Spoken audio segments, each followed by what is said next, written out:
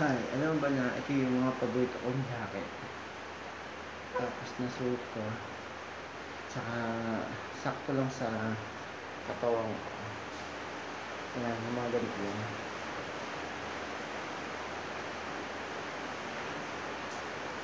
Yung damit kong suot, damit ito niya, no? Ni Carmen Sita.